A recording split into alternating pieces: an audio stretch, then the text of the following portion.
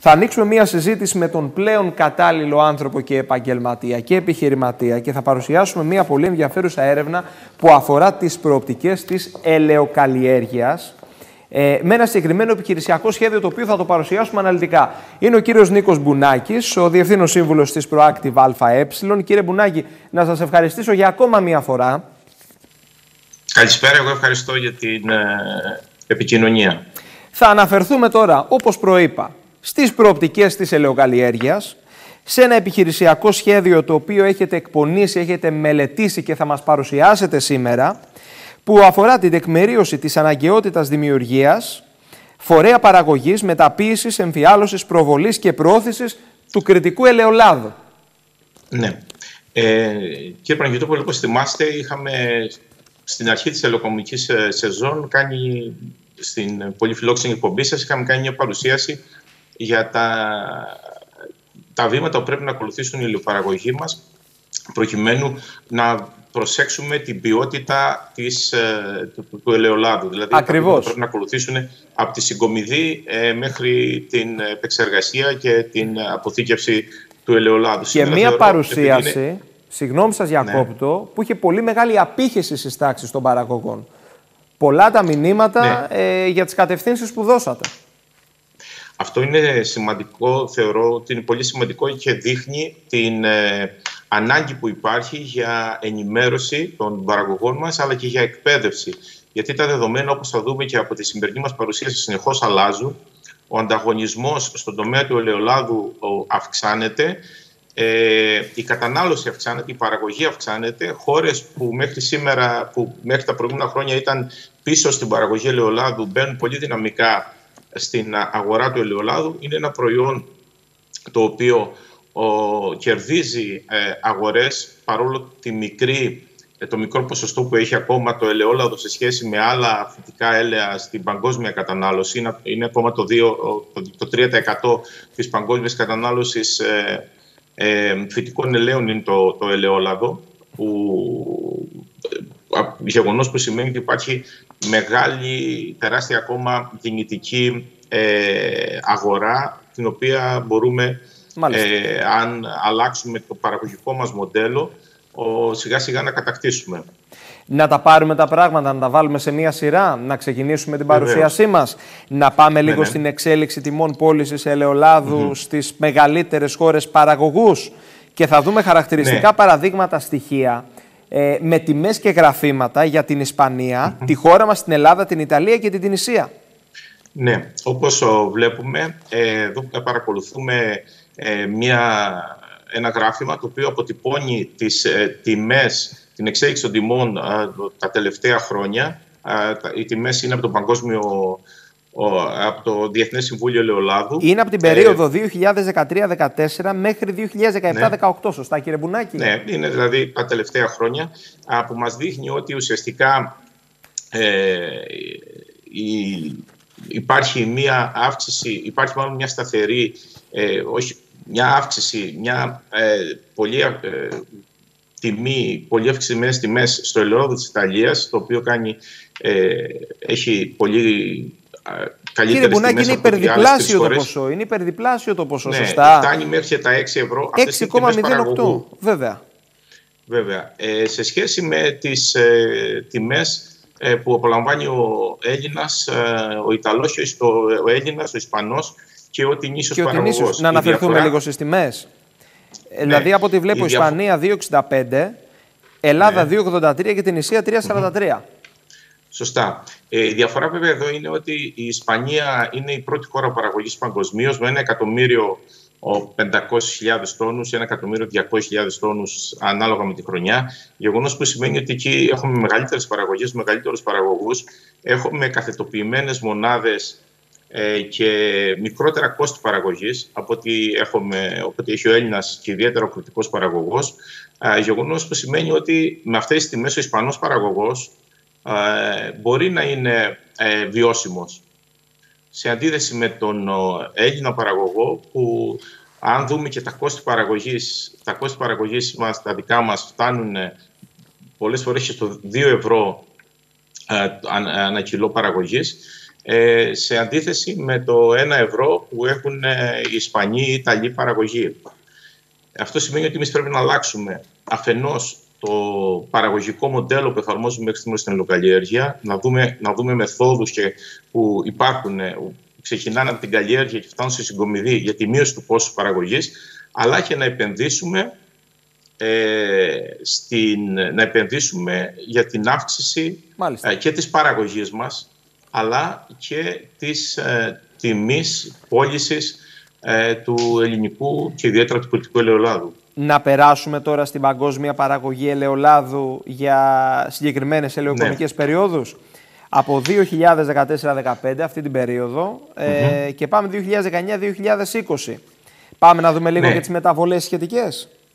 Εδώ παρακολουθούμε ε, ότι ενώ αυξάνεται η παραγωγή των περισσότερων χωρών, ανταγωνιστικών χωρών, η ελληνική ε, παραγωγή είτε μένει ε, στάσιμη είτε μειώνεται. Δηλαδή, τυχαίνει, τα, τα, στοιχεία τώρα τυχαίνουν εκεί, είναι τυχαία το μείον 8, μπορεί να πει κανείς ότι είναι ένα τυχαίο νούμερο, γιατί αν παίρναμε άλλες περιόδους, θα βλέπαμε ότι μπορεί να περάσουμε στις 300.000 τόνους η παραγωγή της χώρας. Mm. Αλλά βλέπουμε όμως ε, νούμερα όπως είναι ας πούμε, της Πορτογαλίας που έχει μια αύξηση στους 131% από το 2014 μέχρι το 19-20 της Τινησίας που έχει ε, και αυτή μια αύξηση ε, σημαντική και μια σταθεροποίηση κοντά στα 300.000 τόνους. Η Τουρκία που έχει μια αύξηση 40% και ιδιαίτερα βέβαια η Ισπανία που είναι και ο κυρίαρχος στην αγορά του ελαιολάδου που ξεκίνησε το 2014 με μια παραγωγή αν θέλετε 800.000 τόνους και έχει ε, είναι και η περίοδος που έχει περάσει το 1.400.000-500.000 τόνους. Αύξηση λοιπόν σημειώνουν και χώρες εκτός Ευρωπαϊκής Ένωσης.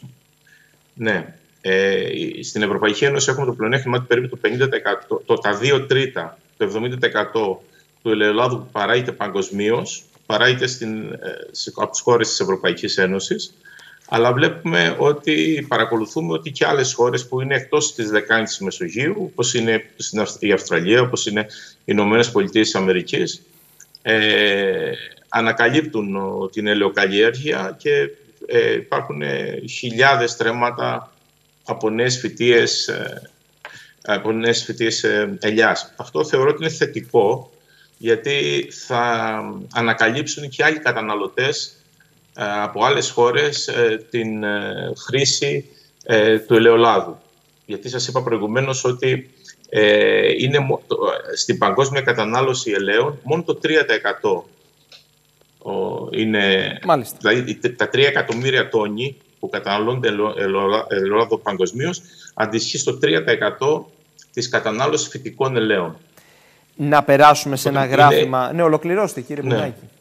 Όχι, είναι προς το συμφέρον και το δικό μας, που είμαστε μια χώρα που παραδοσιακά είμαστε εστιασμένοι στην ελαιοκαλλιέργεια. Θεωρείται ότι ειδικά η Κρήτη από εδώ ξεκίνησε η ελαιοκαλλιέργεια. Ανεξάρτητα τώρα δεν έχουμε εκμεταλλευτεί αυτή την ιστορία. Πιστεύω να μας δοθεί εδώ να πούμε στη συνέχεια εκεί που πρέπει να πούμε στρατηγικές για ναι. το marketing και τη διαφοροποίηση των τιμών να αναφερθούμε. Εδώ παρακολουθούμε ε, τη...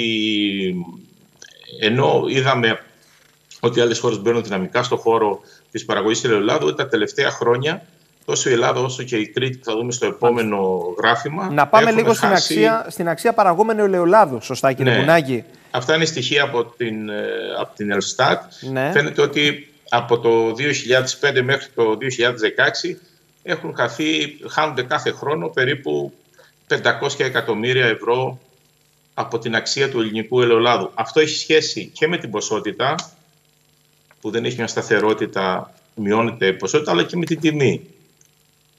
Δηλαδή τα τελευταία χρόνια, όπως θυμούνται και ξέρουν και, και οι ακουρατές μας που είναι ελαιοπαραγωγή, η τιμή του ελαιολάδου όχι απλά έχει μείνει στάσιμη, αλλά μειώνεται. Η αξία του παραγόμενου που... ελαιολάδου, βλέπω ένα συμπέρασμα το οποίο αναφέρεται και στο γραφημα για την Ελλάδα σε διάστημα 12 ετών, δηλαδή από το 5 έως και το 16, είπε στη μείωση κύριε Μπουνάκη της τάξης του 43%. Σωστά. Αυτά είναι τα στοιχεία, αυτά τα στοιχεία μας δίνει η Ελστάτ. Η Ελστάτ, επίσημα είναι κοντά στην πραγματικότητα. Τι είναι; Βέβαια, επίσημα στοιχεία ναι. λέω. Στοιχεία επίσημα. Είναι επίσημα στοιχεία από την ε, Ελληνική Στατιστική Υπηρεσία. Αντίστοιχα θα δούμε στην επόμενη κάρτα ότι ε, κάθε χρόνο από την οικονομία της Κρήτης ναι. ε, χάνεται, χάνονται περίπου 200 με 250 εκατομμύρια ευρώ που είναι πολύ σημαντικό. Αντιλαμβάνονται όλοι, ειδικά σε μια περίοδο οικονομικής κρίσης όπως αυτή που περνάμε τώρα και που περνούσαμε τα προηγούμενα χρόνια σε σχέση με το 2005. Δηλαδή, πανελλαδικά έχει πέσει, έχει χαθεί, ε, έχουν χαθεί πολλά χρήματα που θα μπορούσαν να είχαν κερδιθεί αν εφαρμόζαμε άλλες πολιτικές ε, στον τομέα του ελαιολάδου ε, και από την περιφέρεια Κρήτης. Μάλιστα. Να περάσουμε σε στοιχεία του κλάδου παραγωγής ελαιολάδου Ελλάδας. Ναι. Που αποδεικνύει, θα, θα κάνω εγώ το Ε, σχετικό πρόλογο, αποδεικνύει και τη ναι, ναι. δυναμική του προϊόντος, κύριε Μπουνάκη. το προϊόν ε, έχει τεράστια δυναμική. Ε, ε, σύμφωνα με τα στοιχεία βάλει που έχουμε από τις στατιστικές αρχές στην Κρήτη, γιατί εδώ συζητάμε για την ε, περιφέρεια Κρήτης, έχουμε περίπου 27 εκατομμύρια ελαιόδεντρα.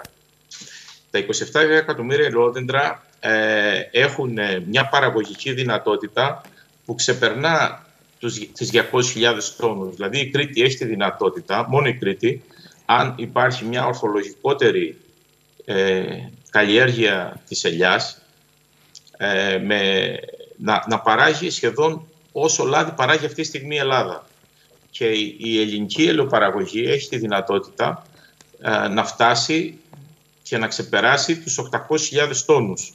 Αν λάβουμε υπόψη μας τον αριθμό των ελαιοδέντρων και την παραγωγική δυνατότητα που έχουν αυτά τα ελαιόδεντρα σε περί, σε- αν ε, υπάρξει μια ε, ορθολογική ολοκληρωμένη διαχείριση της καλλιέργειας, αν εισάγουμε νέους, νέες μεθόδους ο, ο, καλλιέργειας για να μπορέσουμε να αξιοποιήσουμε αυτό τον αναξιοποιητό πλούτο.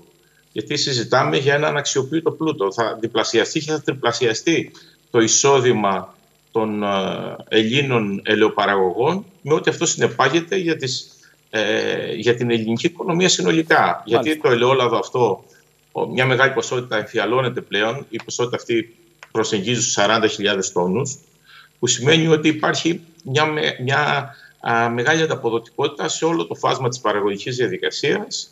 Α, ε, εργα- δουλεύει η μεταποίηση, δηλαδή η βιομηχανία, το εμπόριο, οι εξαγωγές, οι μεταφορές και υπάρχει ένας πολλαπλασιαστής Μάλιστα.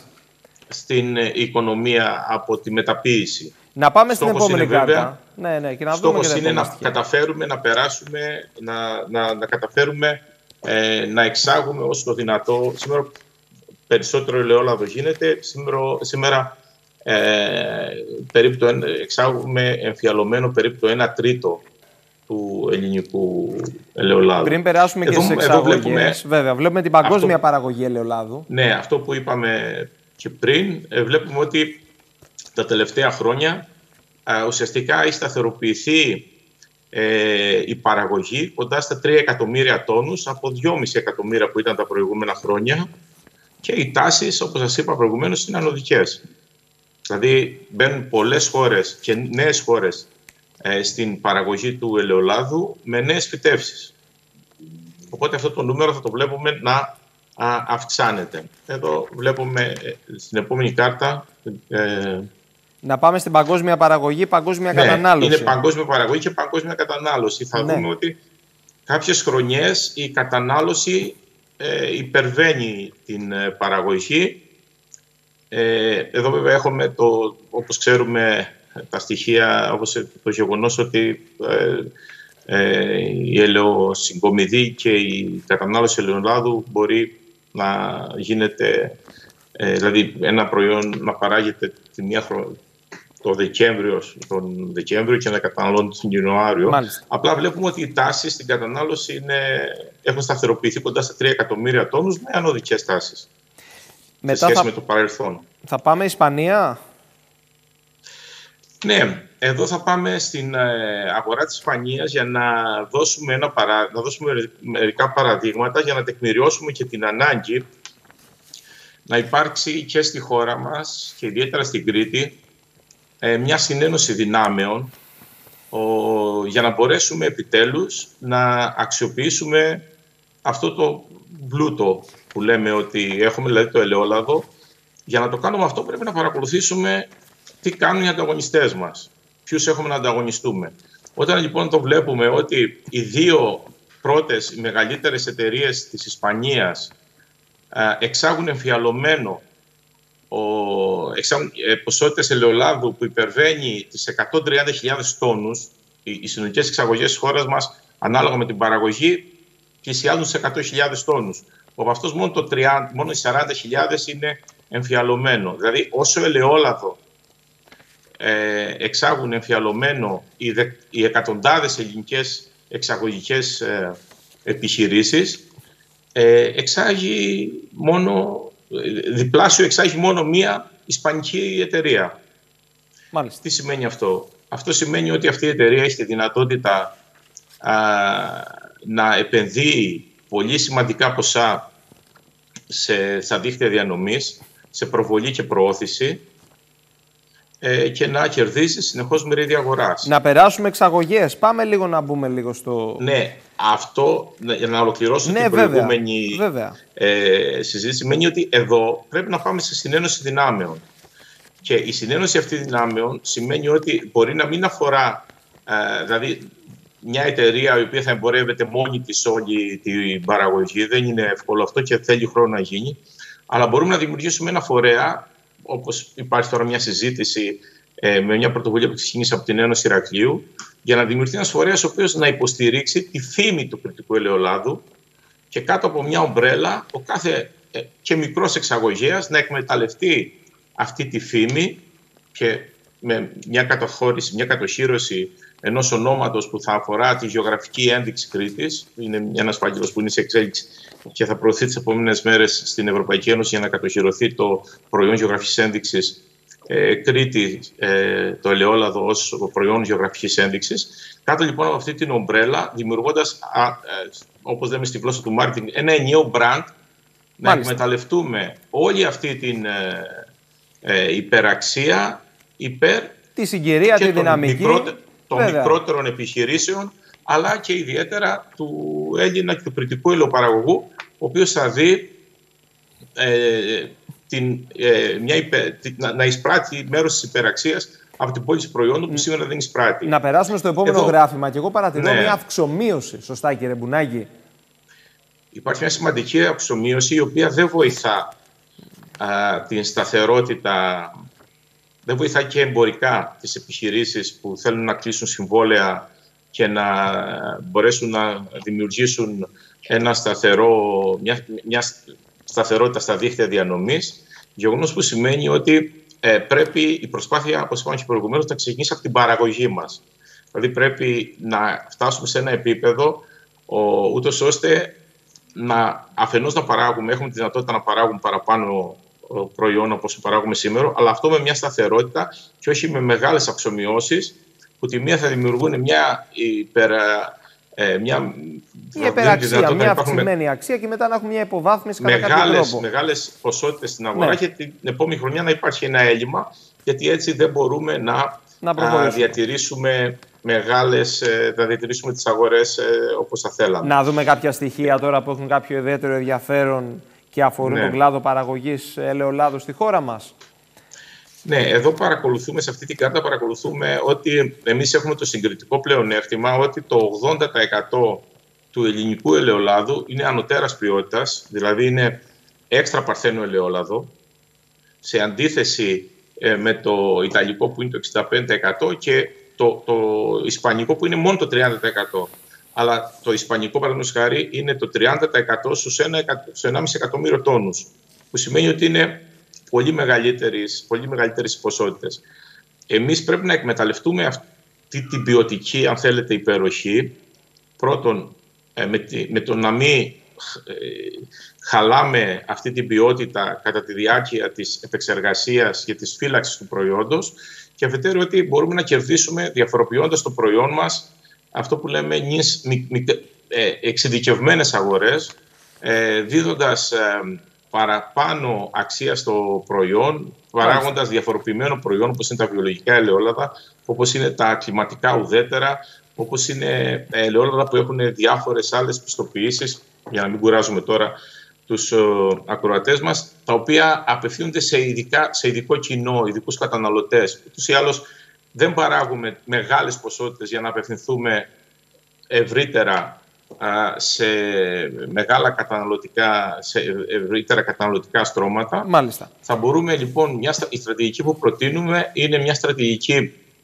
αύξησης, ε, μια ε, πολιτική η οποία θα δίνει έμφαση στην ποιότητα, αλλά αυτή η ποιότητα πρέπει να είναι πιστοποιημένη.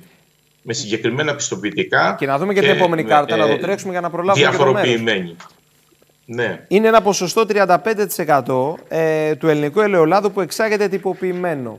Μας κάνατε ένα πρόλογο ναι. πριν από λίγο. Σε αντίθεση με, με Ιταλία και, Ισπανία. το, το 80% των Ιταλικών ελαιολάδων φεύγουν τυποποιημένα. Ναι. Γι' αυτό υπάρχει και αυτή η μεγάλη τιμή, η μεγάλη διαφορά στην τιμή. Ε, δηλαδή αυτή τη στιγμή ο, Έλληνα, ο, ο κριτικός ελαιοπαραγός πουλάει 2,60-2,70 στην καλύτερη περίπτωση 2,80 το ελαιόλαδό του, ο Ιταλός το πουλάει 4,5-5 ευρώ. Μάλιστα. Που μπορεί να μην είναι και της αντίστοιχης ποιότητας του κριτικού ελαιολάδου. Ο Ισπανός μπορεί να τυποποιεί το 50% της παραγωγής του, αλλά όπως είπαμε, η Ισπανία έχει ε, τετραπλάσια ποσότητα, έχει τεράστιες ποσότητες. Οπότε το 50% της ισπανικής παραγωγής είναι 700.000 τόνοι. Ουσιαστικά δηλαδή όσο παράγει η Ελλάδα και η Ιταλία μαζί. Και, και να το branding. Ναι, κλείνοντας εδώ είναι μια. Ε, αυτή την, ε, αυτή τη διαφάνεια την έχω κλέψει κατά κάποιο τρόπο από μια παρουσίαση που έκανε πριν από χρόνια στην Ελλάδα ο διάσημος καθηγητής Κότλερ παγκόσμιας φήμης ε, του marketing που μας δείχνει τη διαφορά, τι σημαίνει branding και τι σημαίνει ε, πουλάω σχήμα, πουλάω τυποποιήσεις, πουλάω ένα προϊόν σχήμα, την αξία του που είναι ελάχιστη, δηλαδή μιλάμε στον καφέ είναι 0,1 με 0,01 ε, με 0,25 δολάρια θέλετε το κιλό, φτάνοντας να τυποποιείτε ε, και να πουλιέται 0,05 με 0,025 και για να μην κουράζουμε τους καταναλωτές, τους ακροατές μας, εκεί που θέλουμε να φτάσουμε εμείς είναι στην τελευταία ε, κατηγορία, ναι. δηλαδή πρέπει να δημιουργήσουμε ένα μύθο και μια εμπειρία ε, γύρω από το κριτικό ελαιόλαδο και γενικότερα από τα κριτικά διατροφικά προϊόντα, αλλά ειδικά το ελαιόλαδο,